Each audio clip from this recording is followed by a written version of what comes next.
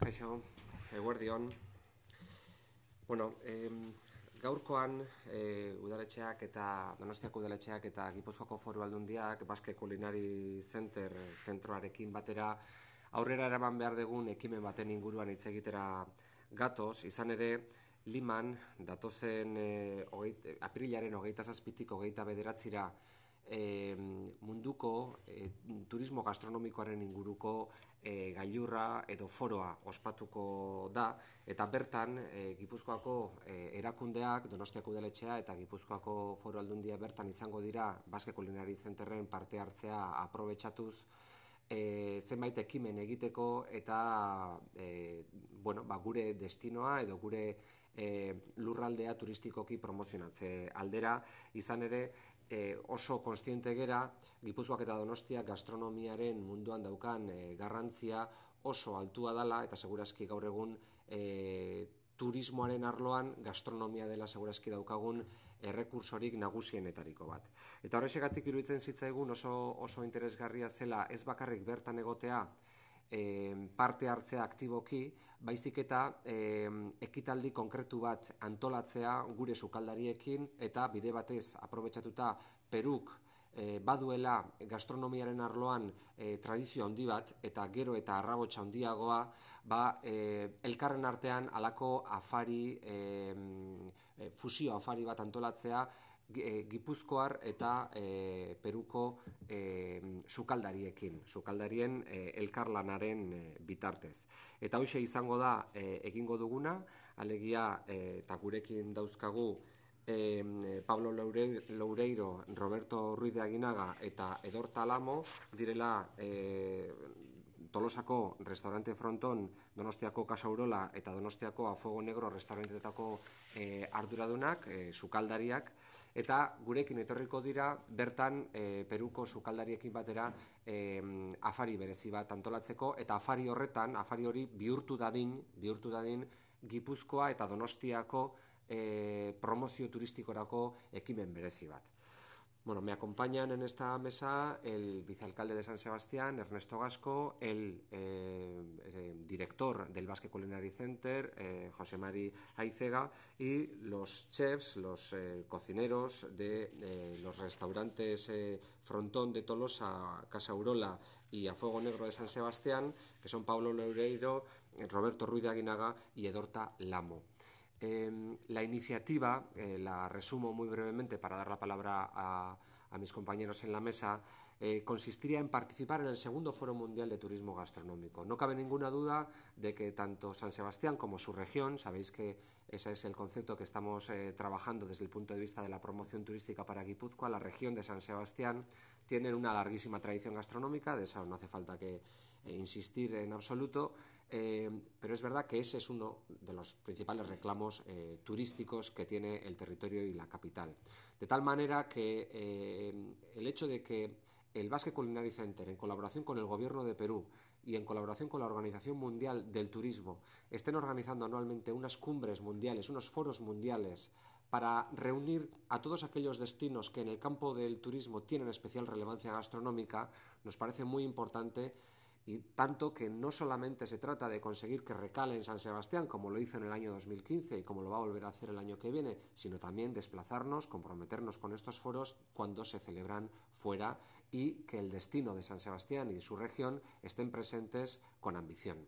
Y es por ello por lo que, además de participar tanto eh, Ernesto Gasco como yo mismo y el propio José María Icega en esta cumbre y en los paneles eh, donde se van a poder explicar las estrategias turísticas vinculadas a la gastronomía, además eh, hayamos organizado una cena, una cena de fusión eh, de cocina vasco-peruana para poder agasajar de alguna manera a un buen número de participantes en este foro, explicarles nuestra tradición gastronómica, explicarles que tenemos una tradición muy arraigada, pero que en un momento dado se puede abrir a las fusiones con otras tradiciones gastronómicas, que, y eso da cuenta un poco también de un cierto cosmopolitismo y una cierta apertura, y explicarles en definitiva, la estrategia conjunta que en materia de turismo tenemos eh, trabajada y estamos trabajando tanto el Ayuntamiento y en la Diputación.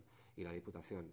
Y eh, creo que es importante explicar en aquellos foros cómo un territorio que quizás durante algún tiempo ha vivido de espaldas o queriendo eh, compensar el excesivo atractivo que tiene la ciudad, ha pasado a pensar justo lo contrario, a trabajar en, la línea, en una línea totalmente distinta.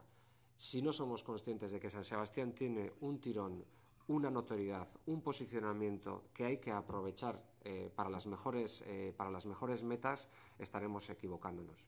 El principal baluarte que tiene Guipúzcoa es San Sebastián y, por tanto, eh, esa es la estrategia turística que queremos eh, trabajar y que lo estamos haciendo de común acuerdo con el propio ayuntamiento.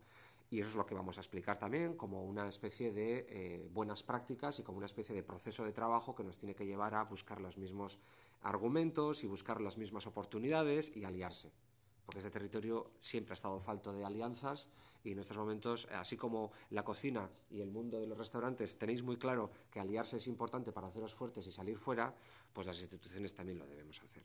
Y aquí lo voy a dejar para no alargarme más, porque somos muchos en el uso de la palabra. Le voy a pasar la palabra a Ernesto Gasco para que luego pueda hablar también José María Icega y, y los propios cocineros nos cuenten un poco qué qué, es lo que van a hacer, qué es lo que van a hacer en comunión y en colaboración con los propios eh, chefs peruanos. Ernesto.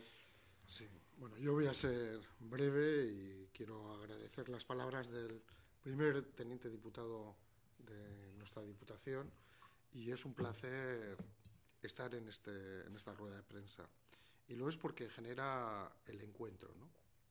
El encuentro entre el sector privado, que son los propios cocineros que están aquí, que todos los días van al mercado, que todos los días tienen que preparar su cocina, que nos tienen que dar de comer y que lo tienen que hacer bien y lo hacen bien. El sector de la formación, de la educación, que es el Basque Culinary Center, que nos pone también en el mundo como una singularidad y como un elemento que nos aporta un, un I más D más I a Donosti, porque tiene su sede, pero al conjunto del territorio y del área metropolitana, como muy bien ha dicho Denis Ichaso, y a las propias instituciones. Y este es un camino muy importante que, significa una etapa nueva. Una etapa nueva de trabajar de nuevo todos juntos y de impulsar un sector estratégico. Nosotros tenemos unos datos muy relevantes al respecto.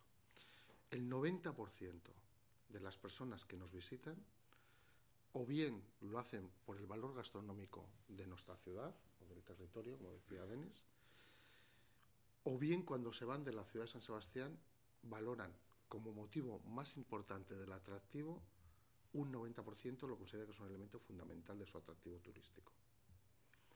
Eso ha hecho, en algunas de las frases que utilizo últimamente, que la palabra gastronomía, yo diría buena gastronomía, es igual al concepto Donostia San Sebastián.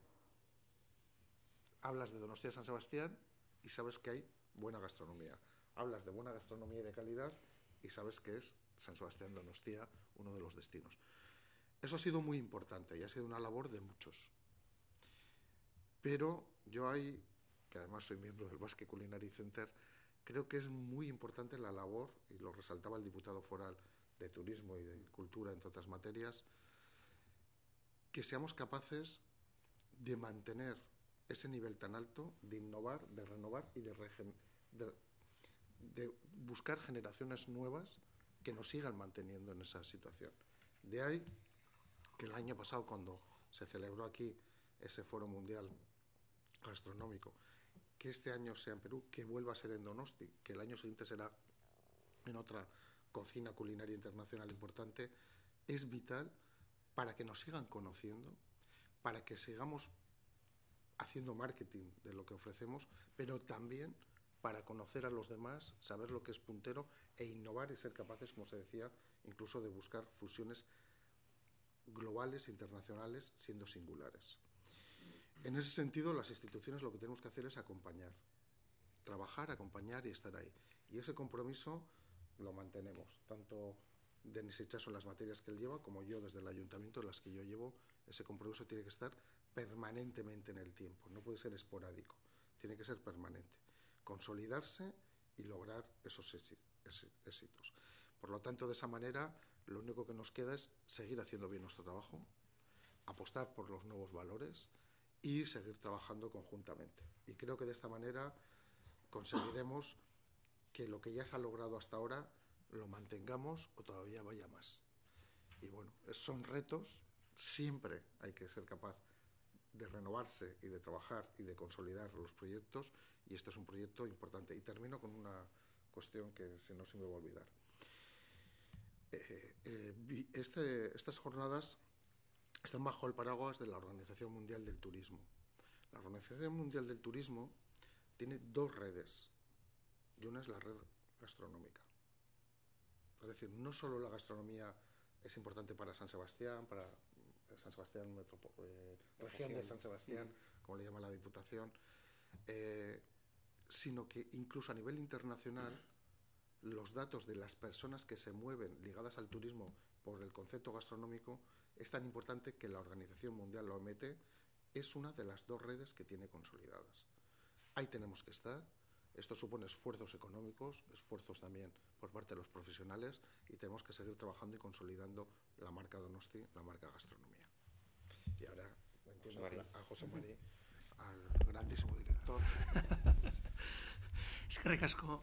Eh, bueno, nire aldetikan lehenik, eh, egia esan, nik uste dut esan den bezala, bai, eh, Denis Itxasok eta Ernesto Gaskok esan duten bezala, nik uste importantea dela eh, ekimenak eta proiektuak lankidetzan egitea, ez? Uste dut, baskulinari zenterretik hori izan dela eta dela gure egiteko modua, ez? Azkenean, guk eh, bueno, aukera batzuk ditugu garatzeko, baina egiten ditugun gauzak erakunde publikoekin batera eta bereziki e, Gipuzkoako foru aldundiarekin eta Donostiako udalarekin, biak dira baskulinari zenterreko patronoak, eta hainbat, hainbat ekimen egiten ditugu elkarrekin, eta gaur aurkezten duguna ere, ba horren islada da, ez. E, esan den bezala, guk antolatzen dugu e, Organización Mundial de Turismorekin batera e, foro bat, mundu mailako foro bat gastronomia turismoaren arloan, liman, hilan bukaeran, e, ogeita zazpi, ogeita zortzita, ogeita bederatzean, Eta bertan izango dugu aukera, ba, Gipuzkoa eta Donostia, eta bere estrategia turistikoak, eta bere aktiboak eta bere aberastasuna e, aurkezteko. Eta bertan, e, ekimen konkretu bat izango da gaur aurkezten dugun afari hau. Decía que, bueno, es un placer, yo creo que nuestra forma de hacer como Masculinary Center es proyectos, iniciativas siempre en, en colaboración, en cooperación. ¿no? Yo creo que al final, si hemos conseguido poner en marcha un proyecto desde cero con esta, con esta ambición y que es pionero a nivel internacional es porque hemos trabajado en cooperación, eh, entidades públicas y privadas, y especialmente quiero resaltar el apoyo que, y la contribución de, del Ayuntamiento de Donostia San Sebastián y de Diputación Foral de Guipúzcoa, que son los dos patronos de, del Basque Culinary Center. Y concretamente hoy, pues eso, como ya se ha dicho, presentamos una, pues todo un, un conjunto de, de actividades que vamos a hacer para bueno, para presentar y, para divulgar y dar a conocer todavía más las estrategias turísticas tanto del Ayuntamiento como de la Diputación en un foro que coorganizamos con la Organización Mundial de Turismo, el Foro Mundial de Turismo Gastronómico, que son, se organiza los días 27, 28 y 29 en Lima. Y ahí vamos a hacer diferentes actividades y una, yo creo que la, que la, que la actividad estrella pues es la cena vasco-peruana, que presentamos, que se celebrará el día 28 de abril en Casa Moreira, que es, yo diría, el complejo de restauración que tiene el cocinero más importante de Perú y de Latinoamérica, que es Gastón Acurio, que es miembro de nuestro Consejo Internacional también, pero que acogerá esta, esta cena donde yo creo que nosotros llevamos una de las representaciones de la cocina vasca, que son los pinchos, ¿no? porque al final yo creo que la riqueza que tiene Euskadi, que tiene eh, Donosti, que tiene eh, Guipúzcoa, eh, la región de, Donosti, como se, San Sebastián Region, como estamos ahora ¿no? promoviendo, es que en un territorio muy pequeño tenemos diferentes representaciones de la gastronomía. La alta cocina, ¿no? la cocina más, si quieres, más gastronómica, más innovadora, restaurantes de producto, más tradicionales, y yo creo que la, la mejor representación popular de nuestra cocina, que es la cocina de los pinchos. Y creo que eso es lo que llevamos allí, como una forma de también mostrar esta, esta cocina popular, accesible y social.